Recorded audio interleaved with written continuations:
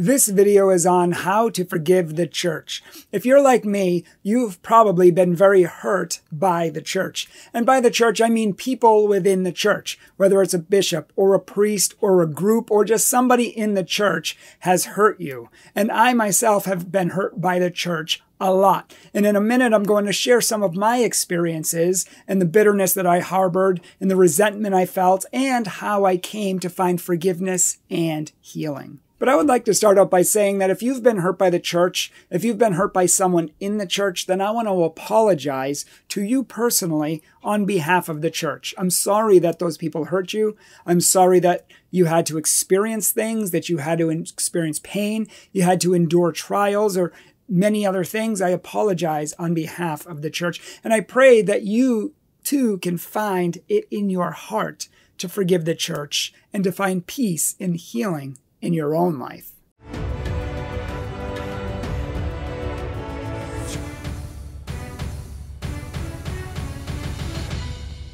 Before I tell you my experiences, let me just briefly say what I mean by the church. The church is both divine and human. And that's an important distinction because the church was started by Jesus Christ. The Catholic Church was started by Jesus Christ. And the Catholic Church, therefore, has a perfect divine element to it. But it also has a human side, which we all know is very broken, very hurt, and very imperfect. There are a lot of people in the Catholic Church who are emotionally broken, who are prideful, cocky, holier than thou, and even poisonous, toxic, and evil. St. Paul talks about how there will be evil in the church, even in the leadership. He talks about wolves in sheep's clothing. I've had a lot of experience working in the church and working in many churches. And so often people who work for the church can be toxic. They can be petty, judgmental, argumentative, controlling, rude, mean spirited, clicky, and just downright nasty. And I apologize to anyone who's experienced that. And I've experienced it myself a lot. These kind of people hurt others and even push them away. We're supposed to be representatives of Christ and reflect Christ and his love and his joy and his peace and his goodness. And the reality is that in a lot of people's lives, so many times we reflect the opposite.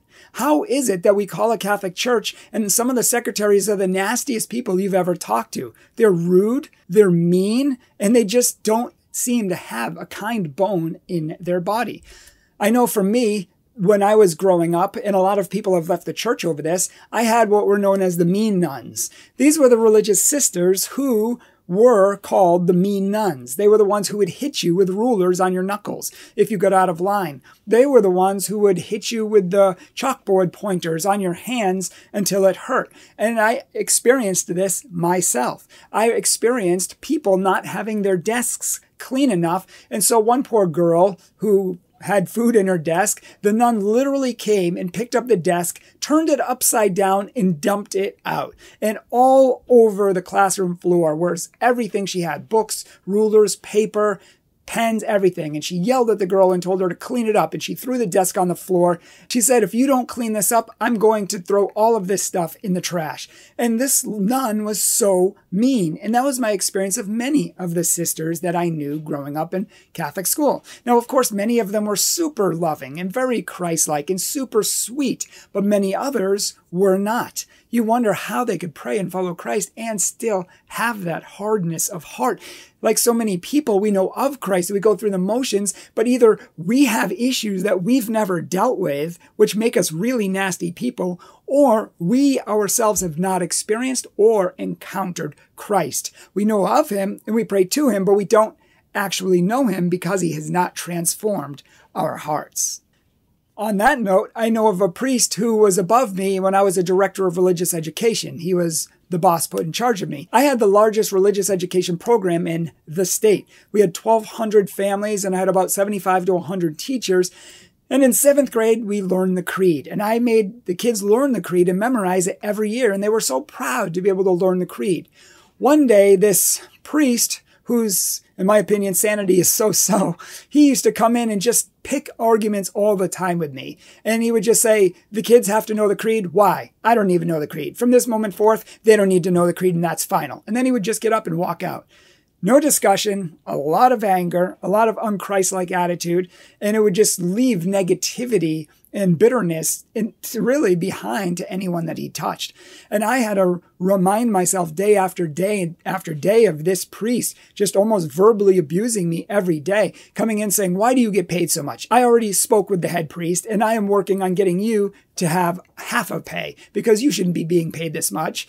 And I said to the priest, I should be paid more than this. Not only am I running the largest religious education program in the state, but I also started the first successful youth group ever at this parish, which is another full time job. So I'm actually doing two full time jobs and I should be being paid more than that. And you want to cut my salary in half.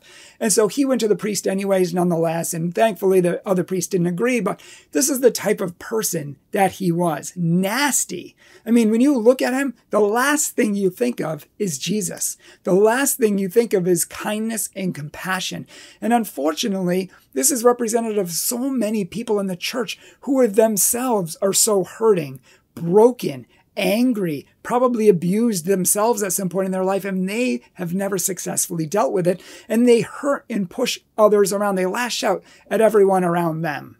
It's no wonder many people leave the church. If I wasn't such a good Catholic and if I didn't know that Jesus started the Catholic Church and it's his church, not this priest's church, not those nuns' church, it's Jesus's church, I may have left a long time ago, but it's Jesus's church, not the nuns and not that priest. Speaking of which, speaking of just broken people in general, I remember a, a priest who was so insecure about himself. He used to put everyone else down, especially me, because he was over me in the youth ministry program that I worked at. And every time I made a mistake, it was like you had to be perfect. You couldn't make mistakes. And he would chide me up and down. And sometimes he would just look at me up and down and he'd be like, he would literally be the most disapproving person in the world. Now, most people could handle that, but I'm also a broken person as well. And many people in my life treated me that way. They belittled me. They put me down. So when people start talking to me that way, I get sometimes angry or I get frustrated with them. So in some scenarios, I've told the priest or I've told the person who's hurt me and they said, Oh, I didn't realize I was doing that. I didn't realize I spoke to you that way. And it was so much better after that. But other times, like so many of us, we harbor bitterness, we harbor resentment, and we don't speak how we feel until it comes out in an unhealthy way. And that's what happened to me with this priest. And when he looked me up and down, he was like, I can't believe you. Like, you're the worst person in the world. Like, you don't do anything right. I literally freaked out on him. And I said, How dare you speak to me that way? I don't care the fact that you're a priest. If you're a priest, you should be talking like Jesus, not the devil. And I'm sick and tired of you belittling me. And I'm sick and tired of you putting me down. I'm sick and tired of your stupid insecurities getting in the way of your priesthood. And I went off on him in a way that I should not have gone off on him. I should have communicated it well beforehand, and I didn't. And that was my brokenness and my failure, and something that I've had to work on over the years to get to a much better better place. So even if people do that in my life, I don't react that way. And eventually me and the priest patched it up, but he, his mouth was like, I couldn't believe I was speaking to him that way. And upon reflecting on it, I can't believe I spoke to him that way either, but that was my brokenness. How many people have I hurt in the church? How many people have I pushed away? I can blame all these other people who have hurt me, but how many people realistically have I hurt in my life? One more story, and I have many stories. I remember I worked at this high school here in Connecticut, and it was toxic, poisonous, and I couldn't sense Christ almost anywhere in the school. The headmaster himself, when you looked at him, you did not see Jesus. You saw the opposite. I mean, many times I've seen movies or played video games in the past where, you know, certain bosses are just very stern. They sit in these big chairs and they scowl down at you, and they're really evil people in the games because they're the bad guys. And it's sad to say that this headmaster who ran the entire entire school. He wasn't a priest, but he was a brother, and he was so evil. I, I, hate to use that word, but that's what it seemed like to me. He was angry. He was destructive and toxic to everyone around him, and he poisoned everyone around him, and he hurt everyone around him, including me. He said a lot of nasty things, did a lot of nasty things, and so did other people at this school. And so over the years, I have just had one thing upon another upon another where I didn't do anything wrong, and yet I have had these injustices done to me. Now, sometimes I have done things wrong, and I deserve what I get. But at other times, they were just injustices from people who really didn't reflect Christ. And I've been very angry. And when I think about it, and when I talk about it, when I start venting about the problems of the church, these situations come to mind about how bad the church is. The Catholic Church is this, the Catholic Church is that. This is what we've become. and I become angry and I become emotional. I become all these things. And thankfully, lately, God has given me a grace to look at the situations the way He does, to see the situations and view them the way he does.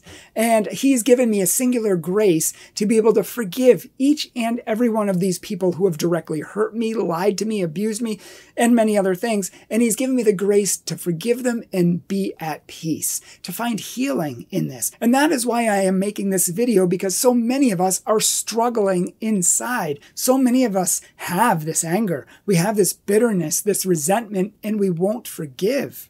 And really, it's eating us alive. It's eating me alive. Well, not anymore, but it was because someone once said famously that unforgiveness is like drinking poison, but expecting someone else to die. Think about that. Unforgiveness is like drinking poison, but expecting someone else to die. So in other words, I'm angry. I'm bitter. I'm like, these people really get me mad. And we seethe and we brood under the surface and we just rage about our injustices and all of these different things. And half the time, most of the time, these other people have already moved on with their life. They don't even know we're angry. They don't even know what's going on. We think they do just because we will them to, but really, it's in us. And we are silently killing ourselves. We're hurting ourselves. We're destroying ourselves. So what forgiveness is and what forgiveness is not is that it's not saying what they did was okay. Those things that these people did to me and the things that happened to you in your life, they're not okay and they're wrong. And those people have to answer to God on judgment day. And they may answer severely for what they did. We are not by forgiving them saying that what they did was okay. But what we are saying is that we are going to be the bigger person. From our end, we are going to choose to let go we are going to choose to be the bigger person and just to say, I forgive you. Even though you really hurt me, I'm going to forgive you and I'm going to release it. I'm going to let it go. Ooh, and find healing in the process. Because we hold on to it so tight and we have so much anger. But when you let it go and you actually start praying for that person, things change and you find peace. One wise priest said, You can't hate someone that you're praying for. You're either going to pray for them or you're going to hate them but you can't do both. So if you don't mind, let me share just a couple of the things that I've learned from my life in hopes that it'll help you to find forgiveness and peace in yours. And we can look at an earthly level as well. And this will help. This has helped me to forgive because there are people in this life that have hurt me. I know somebody whose parents hurt them very much and they harbored bitterness against their parents for many, many, many, many years. And then their parents over the years started to tell them about their childhood and how they were hurt, how they were abused, how they never had love, how their parents didn't even love them and how their abuse really made them angry and they took out that anger on their kids. And now their kids are understanding that their parents didn't even stand a chance in that if we were in our parents' positions and we had those things happen to us, we probably would have done the exact same thing to our children. And when we have these enlightening moments, it makes it much more easy to forgive, to see through the eyes of compassion rather than vengeance, anger and brokenness. And we can forgive them much easier because we realize they didn't mean it. And most people who hurt us are angry themselves, are hurting themselves. You know the famous maxim that the bullies are the angriest people out there. People who make fun of other people are the most insecure people out there. So the angriest people, the people who hurt you the most, we have to realize they are the most angriest. They're the most hurting. They've had the most things generally happen to them. Everybody in the world is fighting a battle inside. And some people, the angriest people, the people who are always so rude to you, those are the people who don't say it and they never will because half the time they don't even know it, but they're fighting a battle inside themselves and they're losing. They hate their lives. They hate the things that have happened to them. They don't know how to deal with it. And so they lash out at everyone else around them. They hurt people and they push them away. And we need to start having compassion for these people, not saying what they do is right because it's wrong and they're going to have to answer for it.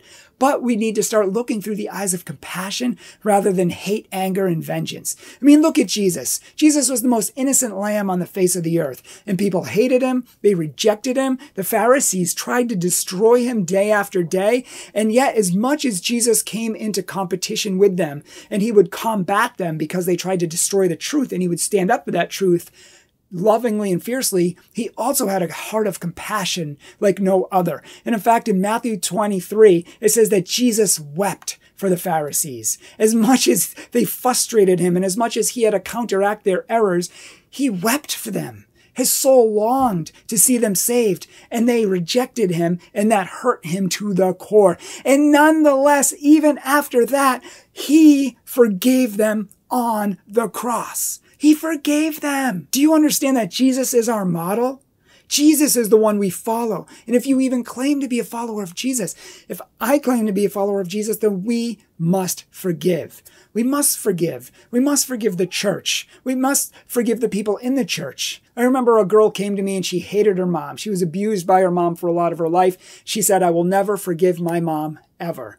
And I went up to this girl and I said, You need to talk to your mom. You need to forgive her. You just have to do that. And this girl said, No, never. You have no idea what my mom did to me. So I said, Fine, tell me.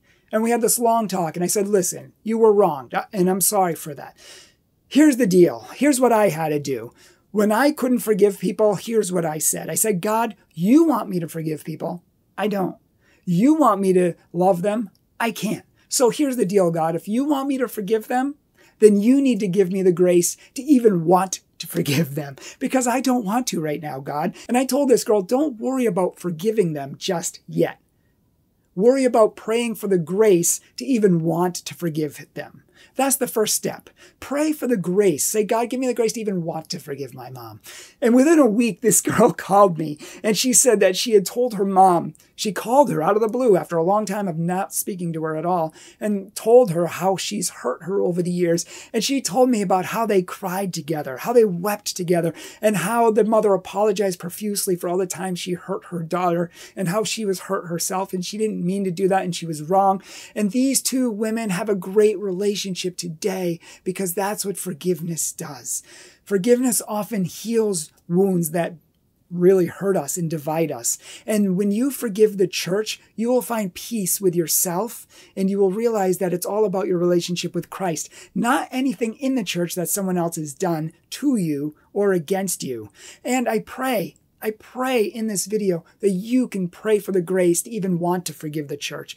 And I pray for that grace in your life that you will come back to the Catholic Church. You will come back to Jesus because it's Jesus' church. In 1 Corinthians 12, it says Jesus is the head of his church. So you can't leave the church and still have the head. They go together. So please consider that. And please come back to the Catholic Church. We here at Catholic Truth are willing to help you on your journey. We're willing to help you in your journey back to the faith. And if you've been a different religion, if you've been away, maybe you're a pastor of a different religion. There are so many pastors coming back to the Catholic Church. I ask you to check out the Coming Home Network. They help thousands of people of different religions come back to the Catholic Church, and they help them every step of the way. They're wonderful. Here's the deal. Here's the takeaway. Jesus was injured. He was hurt by evil people and he loved them and he forgave them. And in the Our Father, Jesus said and taught us to pray, Our Father who art in heaven, forgive us our trespasses as we forgive those who trespass against us. So we, if we want to be forgiven by God, need to find it in our heart to forgive others. Because think about it. How many times have you hurt other people in this life? How many people have you hurt?